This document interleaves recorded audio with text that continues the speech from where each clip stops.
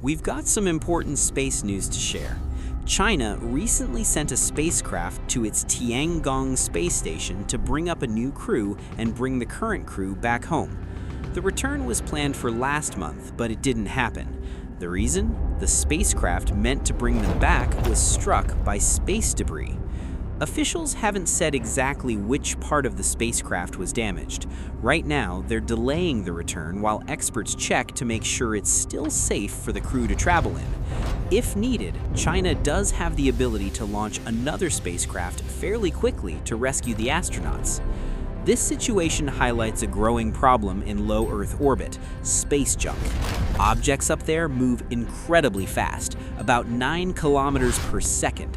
At that speed, even something as small as a paint chip or a tiny metal fragment can cause serious damage.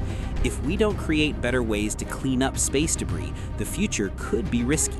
Spacecraft and satellites may face constant danger from floating junk. Follow along so I can keep you updated as more details come out.